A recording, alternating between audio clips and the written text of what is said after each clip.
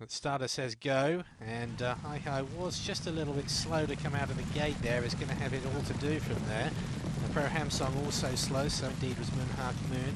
This challenge to a very, very good start. Balvenie is going to be nice and prominent, wildly romantic to look to come across.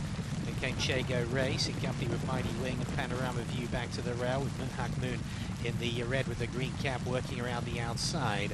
A couple lengths more then to Rocket J Wang, followed by High High Amiga Raro and Pro Ham Song at the back of the field. So it is this challenge who, as they come to the turn, uh, will lead by three quarters of a length to Wildly Romantic in second, Balvenie in the box seat third to the fence.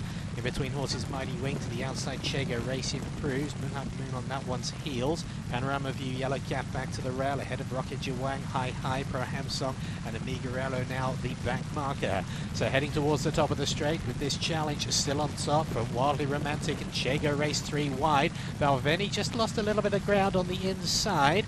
Down the, the outside, the centre of the track will come Moonhawk Moon. This Chago Race who now takes the lead at the 300. Is being tackled by Wildly Romantic as this challenge gives way. But at the furlong pole, it's still Chago Race. Uh, going in is Wildly Romantic, but Chago Race, Wildly Romantic, they're going nose to nose. Wildly Romantic just about gets in front. Chago Race fights back all the way to the line. Wildly Romantic from Chago Race with High High emerging for third.